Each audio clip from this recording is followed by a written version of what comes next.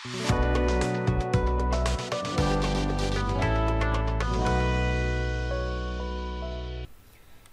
বন্ধুরা, আমি প্রতীক সরকার। আজকে আপনাদের জন্য আরেকটি নতুন ভিডিও নিয়ে এসেছি। তো ভিডিও শুরু করার আগে আপনাদেরকে বলে দেই, আপনারা যদি আমার চ্যানেল নতুন হয়ে থাকেন, তবে অবশ্যই চ্যানেলটিকে সাবস্ক্রাইব করে নেবেন এবং বেল আইকনে ক্লিক করে রাখবেন। এবং আপনাদেরকে আরেকটা কথা বলে দিই যে আমার একটি ওয়েবসাইট আছে, সেটা হলো সদাই একাডেমি ডট কম। এখানে আপনার কালিনাক্সের এবং ethical hacking, affiliate marketing, CPA marketing, WordPress development, এই কোর্সগুলো আপনারা করতে পারবেন। এবং সাথে আমি আরেকটা কোর্স রিলিজ করতে যাচ্ছি, সেটা হলো বাগ বাউন্ডারি কোর্স আপনারা কীভাবে ইথিক্যাল হ্যাকিং এবং ইথিক্যাল ওয়েতে কোনো রকম ঝামেলা ছাড়াই আপনারা বাগ বাউন্ডারির মাধ্যমে ইনকাম করতে পারেন হ্যাকিংয়ের মাধ্যমে। এবং এখানে যেই প্রাইসগুলো দেওয়া আছে, এগুলো সবগুলোই ডেমো প্রাইস এবং এটা আপনাদের জন্য একটা কোর্স যেটা হলো কালিনাক্স কমপ্লিট স্মার্ট কোর্স এই কোর্সটা আমি রিলিজ করে ফেলেছি অলরেডি ঠিক আছে? প্রত্যেকটা কোর্সে আমি আরও ভিডিও আপলোড করব। আপনারা ক্রয় করার পরও এই সেই ভিডিওগুলো দেখতে পাবেন, কোনো সমস্যা নেই। পরবর্তীতে প্রত্যেকটা কোর্সে যেই যেই ভিডিও নতুন আপলোড করা হবে, আপনারা আগেই ক্রয় করার পর সেটা পরবর্তীতেও সেগুলো দেখতে পাবেন এবং পরবর্তীতে সেই ভিডিওগুলো দেখার জন্য আর কোনো রকম প্রাইস আপনাদেরকে দিতে হবে না। তো চলুন শুরু করা যাক। আজকে আপনাদেরকে দেখাবো যে কীভাবে লাইভ রেসিস্ট্যান্ট ইনস্টল করা যায় কালি লিনাক্সের তো আপনারা অনেকেই আছেন যে কালি লিনাক্স দেখা যায় যে আপনাদের ল্যাপটপে ইনস্টল দিতে পারতেছেন না অথবা আপনাদের ল্যাপটপে কনফিগারেশন ভালো নেই, তো আপনাদের এরকম যদি কোনো অবস্থা হয়ে থাকে, তো অবশ্যই আপনারা বত্রিশ জিবি অথবা চৌষট্টি জিবির একটা পেন ড্রাইভ কিনে নেবেন, ঠিক আছে? বত্রিশ জিবি পেন ড্রাইভ নিতে আপনাদের পাঁচশো থেকে ছয়শো টাকা এরকম খরচ পড়বে। তো আপনারা রুপুস সফটওয়্যারটি ওপেন করে নেবেন। রুপুস সফটওয়্যার ওপেন করার পর আপনার ল্যাপটপে অবশ্যই পেন ড্রাইভ আগে লাগানো থাকতে হবে।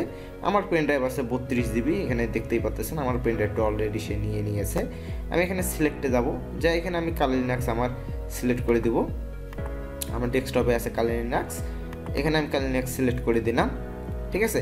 এখানে দেখুন একটা অপশন আছে প্রেসিস্ট্যান্ট পার্টিশন সাইজ এখানে একটা কথা মনে রাখবেন অবশ্যই, আপনার পেন ড্রাইভ যদি আট জিবি হয় তবে অবশ্যই আপনি চার জিবি এখানে স্পেস নেবেন, ঠিক আছে? এখানে আপনি চার জিবি নেবেন। আপনার পেন ড্রাইভ যদি ষোলো জিবি হয়, অবশ্যই এখানে আমি আপনি আট জিবি নেবেন।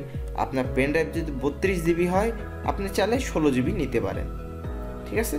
তবে একটা জিনিস মনে রাখবেন, আপনার পেন ড্রাইভের যত সাইজ যদি মানে আমার যেমন বত্রিশ সাইজ তেমনি আমি ষোলো নিলাম মানে অর্ধেক নিব। যদি চৌষট্টি হয়, আপনি বত্রিশ নিতে পারেন। কোনো সমস্যা নেই। তো এখানে আমি ষোলো জায়গায় এখানে আমি নিলাম চোদ্দ জিবি। নেওয়ার পর এখানে আমি চাইলে এখানে স্টেট যদি দেন আপনি, এখানে ওকে দিবেন। বাস, এখানে আগে যে পার্টিশনগুলো ছিল পেন ড্রাইভে সেগুলো সে ডিলিট করে দিবে, গোটা পেন ড্রাইভ ফরম্যাট করে দিবে এবং নতুন করে সে আমার সেই কালিনাক্সটা এখানে ইনস্টল করবে।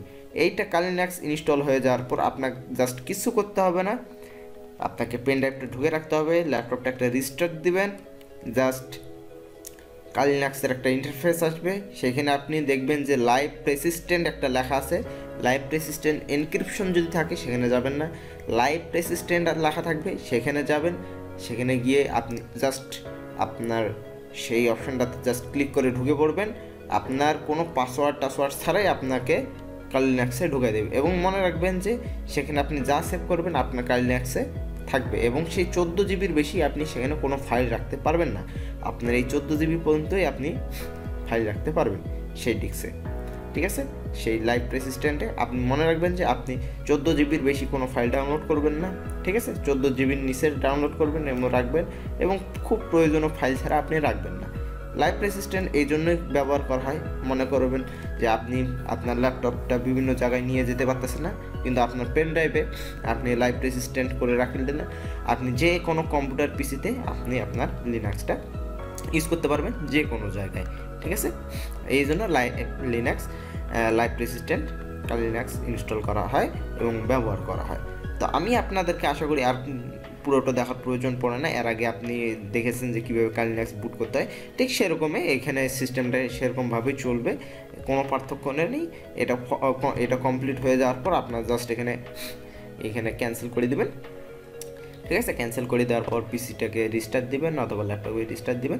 দেওয়ার পর ওই ইএসসি টিপ দিয়ে আপনি বুট মেনুতে যাবেন। যাওয়ার পর আপনার সেখান থেকে আপনার কালিনাক্স লাইভ রেসিস্ট্যান্ট ওপেন করবেন। মনে রাখবেন অবশ্যই গ্রাফিক্যাল ইনস্টল ইনস্টল দেবেন না অথবা লাইভে যাবেন না।